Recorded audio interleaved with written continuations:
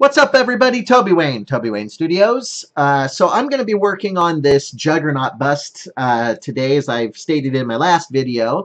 And I'm going to be working on the eyes uh, today. I, like I said in the last video, I went and I picked up a couple of these uh, ball bearings from uh, my local Fred Meyers. And so uh, this is going to be kind of a, a, different setup for me because of, uh, I don't know if you can see in this bottom screen here, but I've got this camera directly in front of me. So I'm hoping I don't bump it, and I'm hoping that I don't uh, knock this thing silly, but uh, this is the best way for me to, to show uh, everybody uh, watching at home what I'm doing here. So the camera's directly in my view, but I'm going to be kind of looking around it and working around it. So we'll, we'll see how this setup works.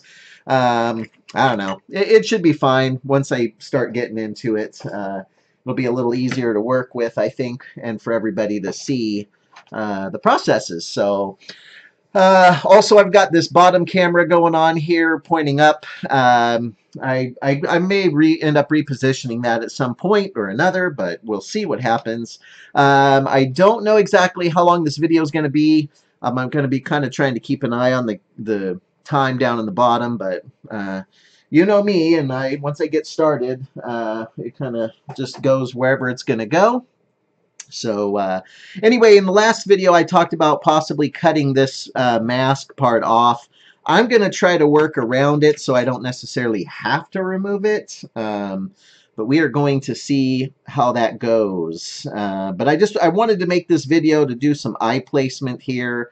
Um, so I'm going to go ahead, here you see I've kind of got some eyes started. Um, I'm going to go ahead and just uh, scoop out that eye there. And uh, I'm going to be placing these ball bearings in. And I'm hoping that um, everything is going to go smooth. I, I don't predict any uh, trouble, but we'll see. We'll see how it goes. And by trouble, I just mean like having an issue of placement of the eyes uh, in with this clay. Oops, and see how that just popped right off? I just took the whole the whole piece out. So I'm gonna there there's a there's a potential trouble issue. So I'm just gonna go ahead and try to blend that back in. Normally I don't have a camera directly in my face like this, so uh, I'm gonna be kind of working my way around that. And I probably will end up doing some of this off camera, uh, sculpting on this guy off camera. Or I might uh, uh, turn off this overhead cam and just kind of put my other camera up and just kind of turn it on and let it do its thing while I'm working. But of course, that's how I missed out on my last 45 minutes of my second second to last video I just put up or third video where I had an hour long video and only 15 minutes of it worked. I couldn't believe that. So what a pain. So I apologize for that. Okay, so I'm gonna so you can see the eye hole here is still pretty uh, pretty small compared to these. I'm trying to eliminate as much having to resculpt this as possible, but it may just have to be that way. And even though this is a larger sculpt, it's still kind of small for these sculpting tools. A small space, because these are still pretty good sized sculpting tools. So, Alright. Uh, let's see if I can just kind of manipulate it in by hand.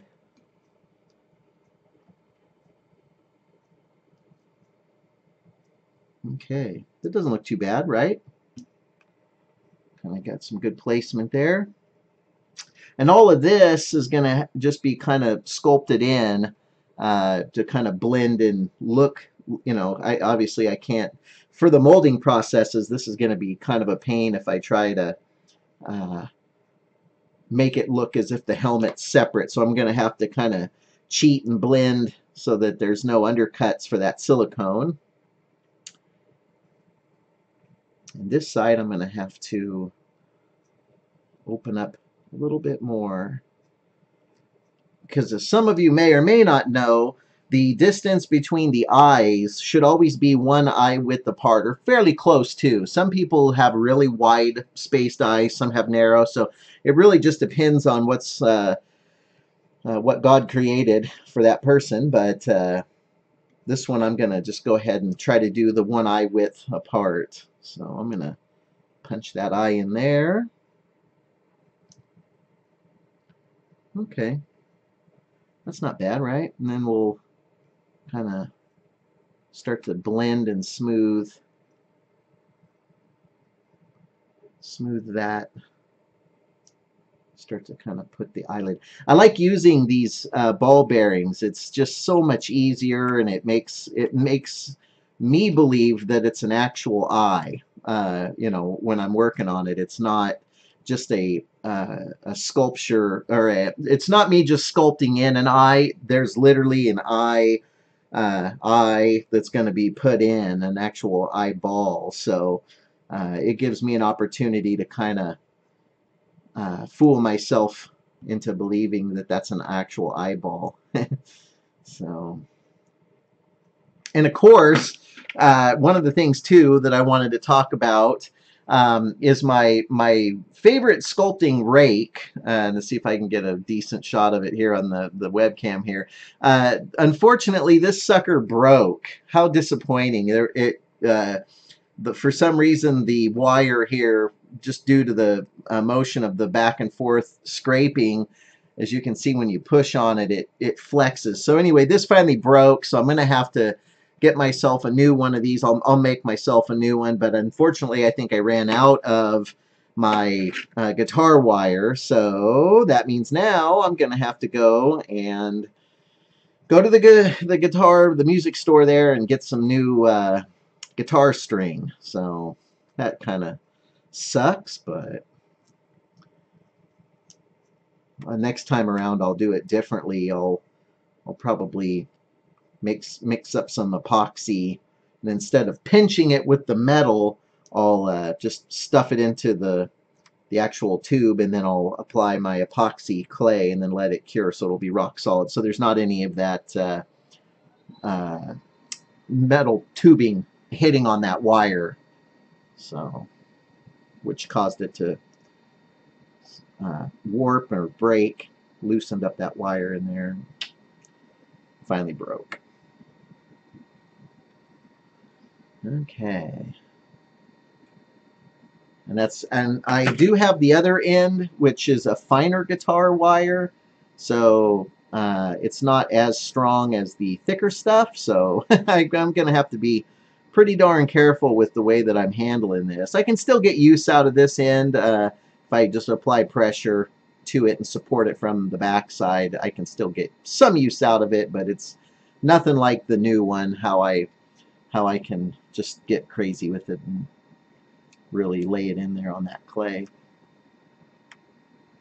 So this is just going to be kind of me placing these eyes in and kind of establishing the shapes um, I'm going to have to go in and get some reference uh, images of the eyes and the mouth because I may change this uh, facial pose up a little bit. Um, not sure yet just what I'm going to do, but I'm gonna. I guess I'm gonna. I, I, was spending some time on Google doing some research on facial expressions, and uh, so I've got some of those that I may refer to.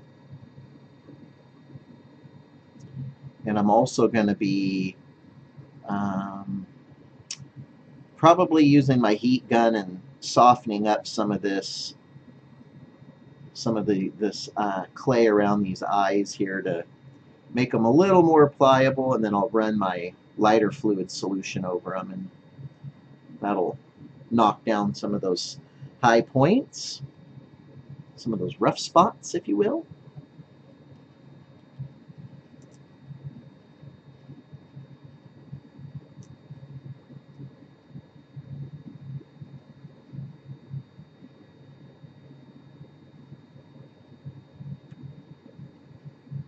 So I'm thinking the uh, eyebrow is probably going to go kind of where you see I've got a, a light uh, little scribing of that. You'll kind of see that's where I'm going to put that eyebrow in there.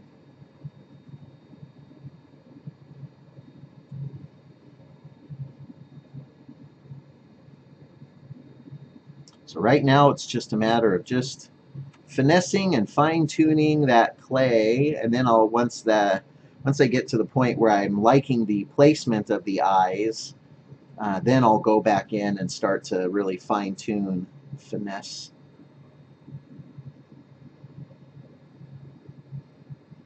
And uh, doing build-up, uh, build-ups and making sure those eyelids and everything are established. Like I'll have to, like this is uh, what I'm kind of talking about there, where I just lay a little, a little snake of clay in there to establish that bottom eyelid, and of course it's not going to want to stay. and why would it stay, you know? I'm only trying to film it for everybody.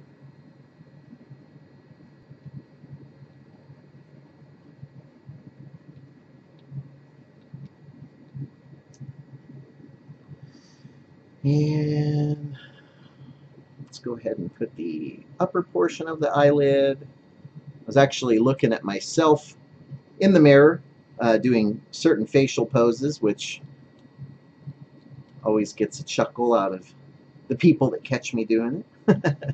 but uh, it helps to, to use my my facial expressions. I can study them and look at them as as I'm sculpting. You should see me out here when I'm working by myself. I've got my YouTube blaring and I'm usually listening to uh, either 80s music or Metallica, something along those lines. But uh, I'm just singing away and I'm making all sorts of facial expressions. But uh, it's quite comical.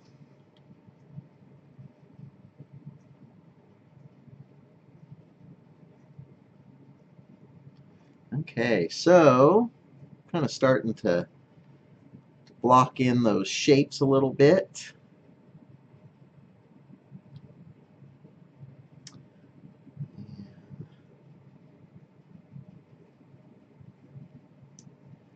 I talked about it in a previous video, but it's always so difficult to not spend tons and tons of time fine-tuning and finessing one one little eye or one ear or one tooth or whatever it is that I'm working on. I get so hyper focused on one thing and I want to just fine tune and focus in on it and I'm realizing that all the rest of the sculpture is in uh, need of help of course so you get this really cherried out eye or a really nice lip or a facial expression and then the rest of the sculpture is has to try to catch up to that one moment. Some people some people will like I said uh, focus and get everything you know blocked in and then they'll start fine-tuning.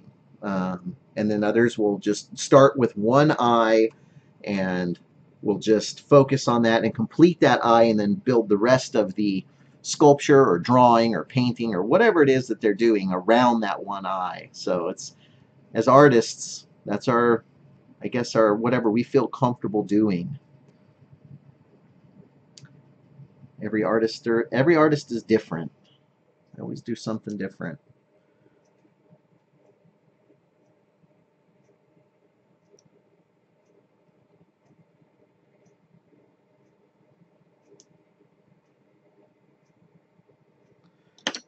So now I'm going to come in and kind of deepen, maybe I'll use my, my trusty Cleoid discoid. I'll come in underneath this eyebrow, or this eye here, and kind of scoop it out. I had a bigger uh, scooper uh, on the end of a tool, and I don't know where it went to in this cluster that we call Toby Wayne Studios. But uh, of course, I need it right now, so I'll never find it until this project is completely finished. So that's that's uh, I think that's some sort of a law or a rule or something.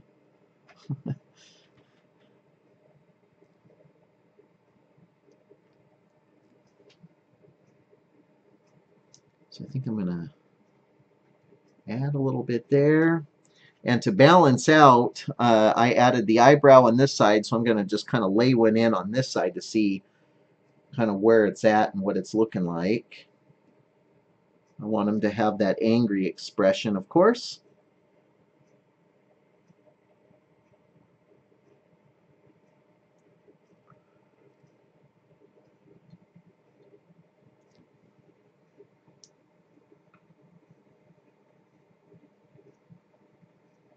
And then it, you can just kind of add in your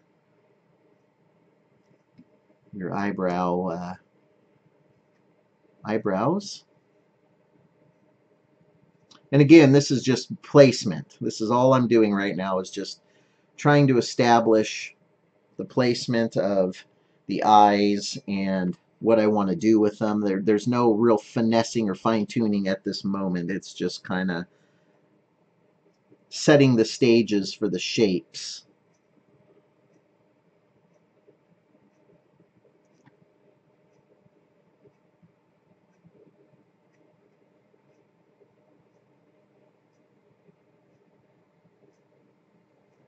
And what I may do is for these shorter videos, um, I may set up the XSplit and just talk like this. And then on my bigger, uh, longer videos where I'm just getting into some heavy detail, um, that's where I may uh, just turn the camera on and just you know add music or or just raw sound you know just have the unedited file. Um, I know I know some people have made it clear that they uh, you know want to hear me talk. And uh, I, I love interacting and talking and, and filling the video up that way. And in some cases uh, I may end up you know getting into that zone and just you know focusing. So if I if I create videos where I'm not saying talking or saying much uh, just know that that's I'm kind of in that zone um, and I'm just kind of really focused and just trying to get stuff done. I have a tendency to talk. My wife reminds me that all the time. Uh, reminds me of that but uh, I, I'm very much a communicator and a talker and if you've ever met me at a show or or uh, know me personally and interact with me uh, on a daily basis, I I uh, am notorious for talking your ear off. So so I'm sorry or you're welcome, depending on who it is that I'm talking to right now, I guess, or however you view me. So always always believe in trying to uh, interact and talk with people as much as possible and share my knowledge. Yeah, so at this point, um, I've got my shapes blocked in. I'm, I'm pretty happy. So now it's just a matter of fine-tuning and finessing. And there's going to be a lot of finessing once I get inside here and cleaning up all these things and establishing cheekbones up underneath there. And, and then, of course, uh, up underneath, I'm going to have to clean up uh, and run, you know, all those uh, tools and stuff up inside of there so to, to smooth stuff out but uh, yeah. So anyway um, I think that's going to be it for this video. I just wanted to establish the eyes and get those new BBs in there or ball bearings if you will um, to make sure that I get you know the proper placement and and eye placement and setup um, and now I can really start going in and fine-tuning and finessing uh, the only other thing I can say about this is once I move to the back, I think I might fill this in a little bit here and uh, I might make the piece wider. I'm not sure because right now it's just traps and the bottom portion of the pectoral muscles. But uh, yeah, I think it's uh, taken shape. It's it's going good. I'm I'm pretty happy with it. Uh, it's just a matter of uh, starting to, to block and smooth things in. And unfortunately, I'll be doing that uh, rakeless. Uh, I'm, I'm going to have to be very careful with this rake. But uh, yeah, it's, uh, it's going to be nice. I think it's going to, this juggernaut is taking shape. And I'm very happy with where it's going. I just, now I just have to stay focused, stay aggressive, stay positive, stay hungry, as they would say in the motivational world. But uh, yeah, let me know what you guys think of this view. If this uh, if this is okay, I'm like I said, I'm, uh, it worked out to where I was able to uh, to get this thing set up to where I can move this camera around a little bit. But uh, I may end up just switching cameras. I've got another camera uh, set up back there, so anyway, you guys are awesome. Thank you so much for checking this video out. Uh, I appreciate it. You can also find me over on Instagram. Uh, welcome to the channel also. If this is your first time checking out uh, my, my videos and my stuff, I appreciate you checking me out. Uh, and I appreciate you subscribing. So anyway, you guys are awesome. Thank you so much. And I will check you out and you'll check me out in the very next video.